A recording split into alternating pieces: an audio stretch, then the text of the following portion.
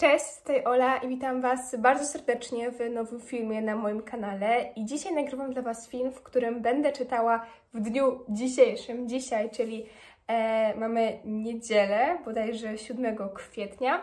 E, będę chciała czytać przez ten dzień tyle czasu, ile w ostatnim tygodniu spędziłam e, czasu, godzin właśnie taka średnia na e, telefonie, ile czasu korzystałam z telefonu. E, co prawda mamy już godzinę 10.50 i ja Wam powiem, że już dzisiaj troszkę poczytałam, ale najpierw zacznijmy od tego, e, ile w zeszłym tygodniu czasu poświęciłam właśnie na siedzenie na tym telefonie. Tutaj Wam się to pokażę, bo ja nagrywam dla Was ten film telefonem, więc nie mam jak Wam tego inaczej pokazać. I jak widzicie są to 4 godziny tak naprawdę i też wkleję Wam to, jak ustawiałam sobie stoper i w momencie, kiedy właśnie będę sięgała po książkę, e, będę ten stoper e, włączała. Nie wliczam tutaj dzisiaj audiobooków, dlatego że ja i tak dużo bardzo słucham audiobooków, więc wtedy to wyzwanie no, nie miałoby sensu i tak naprawdę gdzieś mniej więcej pewnie tyle w ciągu dnia w zasadzie ja właśnie w sumie spędzam na czytaniu, więc nie byłoby to nic jakiegoś bardzo, bardzo trudnego. A jednak 4 godziny dla mnie personalnie to jednak jakieś tam wyzwanie jest, ale też fajnie, że to nie jest jakaś nie wiadomo jak duża ilość czasu, tylko taka, którą faktycznie będę mogła się na tym czytaniu spędzić. E, także mam nadzieję, że będziecie mi towarzyszyć i, i że wyjdzie z tego fajny film. E, jeśli chodzi o to, co będę czytała, to już właśnie zaczęłam czytać. Nagrywałam Wam też właśnie przebitki, które zaraz zobaczycie, bo już ten mówię, czas sobie odliczałam, już pół godziny około udało mi się dzisiaj poczytać.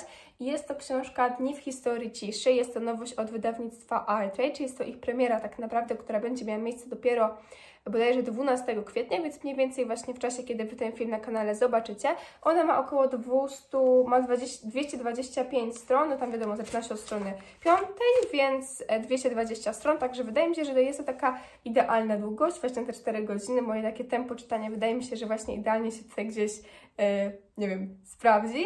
E, także, także tak, będę Wam update'ować, pokazywać, jak tam właśnie spędzam dzisiejszy dzień. Jest przepiękna pogoda, ma być ponad 20 stopni. Planuję sobie pojechać do miasta, nad wodę albo do parku i właśnie też sobie e, poczytać. Także będziecie mi w tym dniu, mam nadzieję, właśnie mówię, towarzyszyć, a ja już nie przedłużam i zapraszam do oglądania.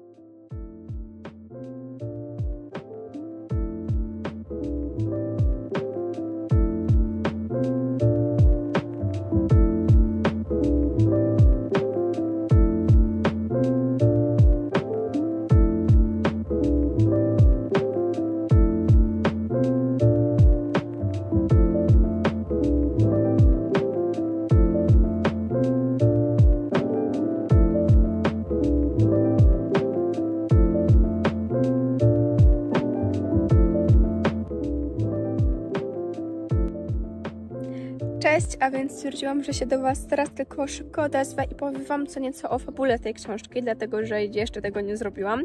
A jestem już na stronie 70, więc na pewno aż tyle Wam też nie powiem, bo to jest bardzo krótka jednak książka, więc zbyt wiele też nie chciałabym Wam oczywiście zdradzać.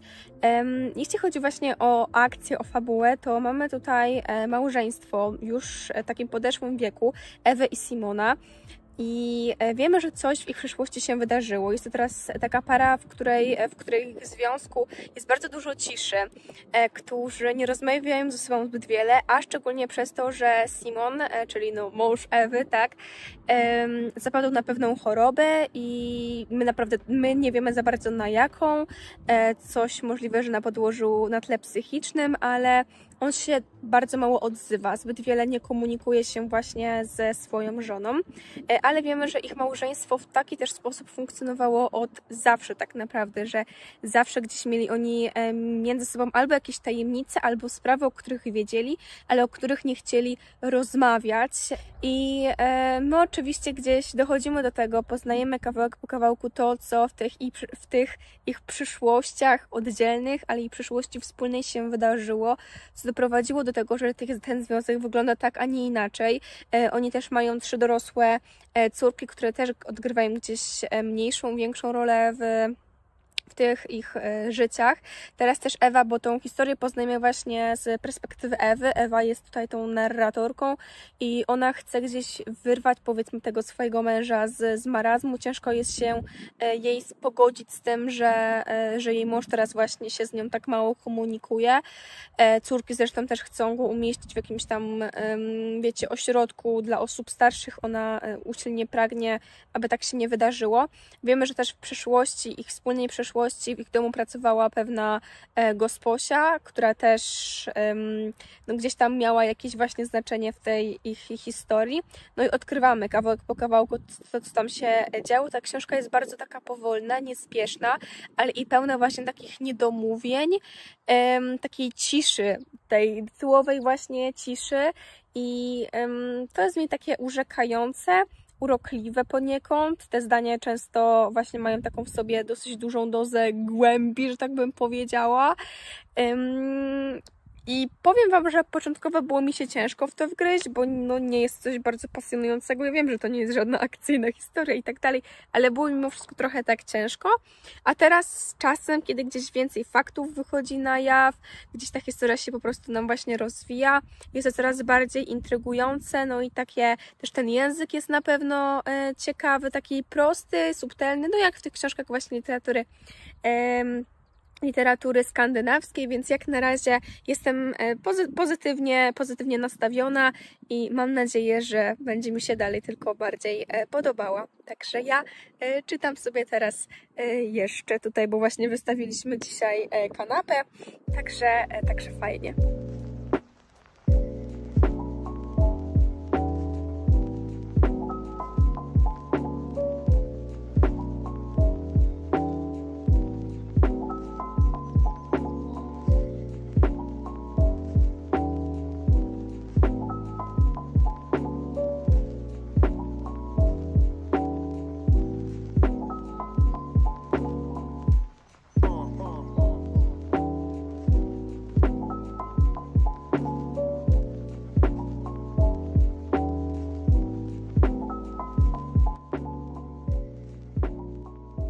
Hej, a więc czytam sobie dalej i jestem na jakiejś stronie 90 i powiem Wam, że ciężko mi jest w ogóle cokolwiek o tej książce powiedzieć. Ona jest taka bardzo niespieszna, um, bardzo taka pełna tej właśnie ciszy, takiego spokoju, ale z jednej strony też jakiejś takiej niepewności, bo te e, sprawy, o jakich się dowiadujemy z przeszłości, mają jednak dosyć duży ładunek emocjonalny i no jednak w dużym... Um, w dużym stopniu na pewno wpłynęły na, na życie tych bohaterów teraz, ale ogólnie były takie naprawdę mocno ciężkie, mocno makabryczne czasami.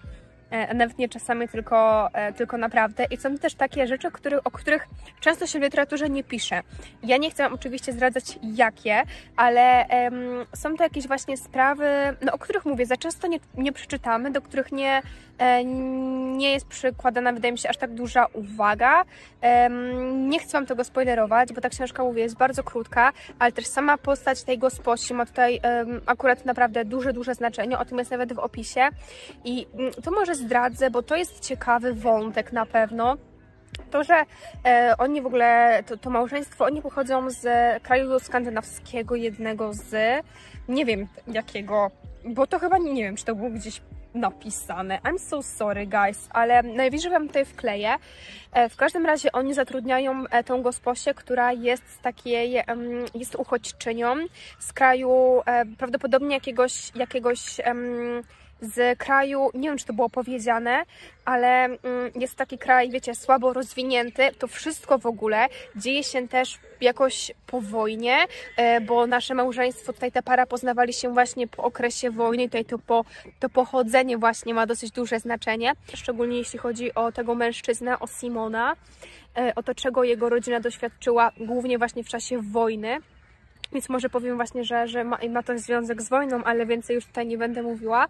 E, niemniej jednak, e, kiedy chodzi o tą historię gosposi, którą poznajemy, to tak jak powiedziałam, ona pochodziła z takiego mniej e, rozwiniętego kraju, i gdzieś oni doszukiwali się prawdopodobnie w tym zatrudnieniu jej jakiegoś takiego poczucia, właśnie oni nie chcieli tego poczucia wyższości, chcieli być z tą kobietą na równi, ale jednak było, było ciężkie do osiągnięcia wiecie, e, chodzi mi tutaj o to, że oni byli dla nich takimi trochę może wybawcami, mimo tego, że nie chcieli być i w tym się tak niekomfortowo czuli. To jest taki ciekawy też motyw, e, który mi się bardzo kojarzy na przykład z książką e, Ten dziwny wiek, także mam takie skojarzenie. No i co, chciałam Wam powiedzieć, ale jakoś tak mimo wszystko nic mnie bardzo tej książki nie przyciąga, powiem Wam szczerze. Czytam ją, bo czytam, ale jest mi ona trochę obojętna. Także e, siedzę sobie w ogóle w parku, bo byliśmy z rodzicami e, na pizzę i teraz właśnie oni mnie zostawili, pojechali do sklepu, a ja chcę sobie właśnie tutaj posiedzieć i poczytać przez jakiś pewien czas. I e, to jest właśnie ten, ten, ten kwiat, ten krzak, on się nazywa, nie wiem jaka jest czy taka jest profesjonalna nazwa, ale my też taki mieliśmy w ogrodzie, tylko że on już jest bardzo stary, w sensie te krzaki są bardzo stare i już tak nim pachną, więc fajnie tutaj mi się siedzi, bo ten krzew e, panna młoda, my tak przynajmniej z rodzicami na niego mówimy, tak mi się, nie wiem czy to jest taka, mówię jego nazwa, ale tak przepięknie pachnie, no serio, giga cool, także oddaję się dalszej lekturze, bo no, jestem dopiero w sumie na, na 94 stronie.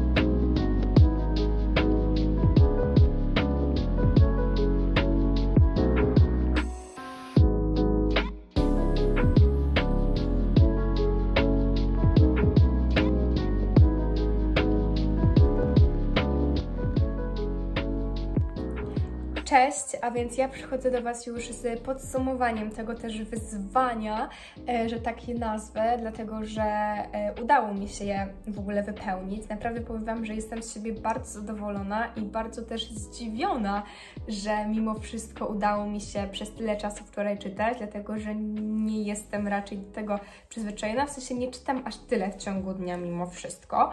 No i nie zdarza mi się też kończyć całych książek, dlatego że tak, udało mi się wczoraj e, Dni w historii ciszy dokończyć. Jeśli chodzi o to, jak to wyzwanie na bieżąco mi szło, to ja w kilku momentach zrobiłam screeny, kiedy się do Was odzywałam, więc to pewnie e, mogliście widzieć, te screeny powklejałam w momencie moich update'ów. Natomiast naprawdę powiem Wam, że jestem aż zszokowana, dlatego że nie zdarza mi się kończyć książek w ciągu jednego dnia, może jakichś takich bardzo krótkich, ale ta książka miała jednak ponad 200 stron, więc było to dla mnie swego rodzaju wyzwanie. I jeśli chodzi o to, jak mi się ona podobała, to naprawdę podobała mi się mocno. I tak jak Wam powiedziałam w tym poprzedniej, w tej poprzedniej wstawce, to jest ten typ książki, który od, od początku mnie do siebie może jakoś bardzo nie przyciągnął. Nie wiem, czy można to nazwać wysokim progiem wejścia, może trochę tak, dlatego dlatego że jesteśmy jednak wrzuceni w takie dosyć niecodzienne, dosyć dziwaczne, niewytłumaczone do końca wydarzenia właśnie w życiu tych bohaterów, konkretnie tej bohaterki, narratorki Ewy. E, I też te mimo wszystko te wydarzenia nie są, przynajmniej od początku, tak bardzo pasjonujące, ale z czasem ta książka naprawdę intryguje. Zarówno jeśli chodzi o to, co wydarzało się w przeszłości tych bohaterów, ale i tą ciszę, dlatego że ta cisza, tłowa cisza wypełnia tą książkę od samego początku do jej końca. Nie dość, że ten mąż bohaterki bardzo mało mówi, na co ona bardzo mocno zwraca uwagę, chciałaby usilnie przywrócić, tą jego mowę. Tutaj też może nie chodzi o to, że on zapada na jakąś chorobę, trochę tak, ale on zamyka się w sobie bardzo, bardzo mocno od dłuższego czasu, też chociażby przez to, że pewne słowa w jego przeszłości nie padły. Słowa, które miały być swego rodzaju wyjaśnieniem dla jego córek w kontekście tego, skąd pochodzi, co się z nim stało, co się stało z jego rodziną. To ma wszystko dosyć duży związek z wojną. Ja o tym nie powiedziałam chyba tak dokładnie wcześniej, ale tutaj ci bohaterowie, Ewa i Simon, ta, ta, w ogóle ta książka, te wydarzenia mm, są osadzone na pewno w przyszłości, w kontekście do tego, gdzie my się obecnie znajdujemy. To mi się wydaje, że jest koniec XX wieku jednak, bo zarówno też możliwe, że patrząc historycznie na te na te sprawy powiązane z, mm, z tą gosposią i ogólnie z tą sytuacją ludzi, którzy e, wyjeżdżają z tych gorzej e, rozwiniętych, słabiej rozwiniętych krajów do chociażby tej Norwegii, bo to się wszystko dzieje właśnie w Norwegii. Tutaj chcę to naprostować, bo wcześniej nie byłam tego pewna, ale też mm, chociażby no, ale też no, głównie ze względu na to, że wiemy, że taki okres młodego dzieciństwa tych bohaterów, a szczególnie znaczy tego mężczyzny, e, Simona przypadał na czasy wojny i to właśnie wojna odegrała na nim tak duże piętno, no i potem to, co właśnie powiedział bądź nie powiedział swoim córkom. Tak jak Wam powiedziałam, takim ciekawym motywem jest też to poszukiwanie pewnych bliskich nam osób, tego, że Simon bardzo usilnie chciałby znaleźć członków swojej rodziny, natomiast jego żona już niekoniecznie, ale kogo będą szukać, w jaki sposób i jakby na tym też ta książka się może aż tak bardzo nie opiera, ale to był dla mnie taki ciekawy wątek. Ta książka to nie są zatem jakieś bardzo nie wiadomo jakie wydarzenia, chociaż poniekąd trochę tak, no bo jednak to, co gdzieś, to czego doświadczyli zarówno ta żona, jak i ten mąż, tak powiem, Simon i Ewa, no było takie naprawdę mocne, ale i też słowa, które właśnie albo nie padły, albo padły, i tutaj w kontekście tej gosposi wpłynęły w taki, a nie inny sposób na to, jak teraz wygląda ta ich e, relacja, jak teraz ich życie właśnie wygląda. Mi to czytanie między wierszami, mi, to, nie, mi te niedopowiedzenia osobiście bardzo się podobały. Trochę dawały mi na myśl książkę Mógłby spaść śnieg, która też trochę się na tym opiera, ale ta i tak podobała mi się naprawdę bardziej. E, nie dość, że intrygowały mnie właśnie te wydarzenia z ich przeszłości, e, to i ona miała taki naprawdę swoisty, fajny klimat, taki no mówię, intrygujący, taki pełen tej ciszy. Nie potrafię tego jakoś może lepiej opisać, ale naprawdę ona miała coś w sobie, co mnie do siebie, e, co mnie do niej przyciągało. Także ja Wam ją naprawdę polecam. To nie jest lektura, która na pewno spodoba się każdemu, bo trzeba jednak lubić takie specyficzne e, książki, takie mówię, ciche, e, na pewno no, nie jakieś akcyjne, tylko bardziej trochę może takie dramaty rodzinne, tak by ją można było określić. No i właśnie ten taki z jednej strony spokój, melancholia, ale i też bardzo, no jednak trudne wydarzenia i też takie niesztampowe, niecodzienne, nie wiecie, w stylu ktoś kogoś, nie wiem, no jakaś zbrodnia czy coś takiego, tylko takie naprawdę, no mm, mo, takie no naprawdę jednak trochę inne. E, ale tak, ja Wam ją mówię od siebie, polecam. Mi się spodobała, dałam jej cztery gwiazdki i e, naprawdę, kiedy się ona kończyła, to miałam takie poczucie, że chciałabym jeszcze poznać dalsze losy tej rodziny, ale i też to, co wydarzyło się e, w przyszłości jeszcze głębiej zgłębić, że tak powiem. E, także tak, ja Wam dziękuję bardzo serdecznie za oglądanie. Mam nadzieję, że ten film Wam się e, spodobał. Ja się bardzo cieszę, że właśnie udało mi się ten challenge wypełnić i że tak dużo wczoraj czasu poświęciłam na e, czytanie. Dajcie znać, czy Wy jakby robicie sobie tego typu wyzwania, czy lubicie takie akcje. E, dziękuję Wam bardzo serdecznie za oglądanie i do zobaczenia już niebawem. Pa, pa! Mm-hmm.